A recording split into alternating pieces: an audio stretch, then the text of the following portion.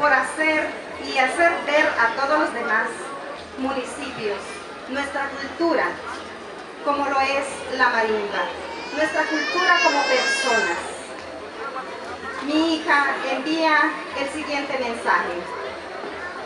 Por motivos de fuerza mayor, por salud ella no se encuentra presente y dicen que siempre viva en cada corazón fatsunero encendido el farolito de la paz, de la amistad y de la armonía, para que nuestro pueblo siempre sea el mejor de toda Guatemala.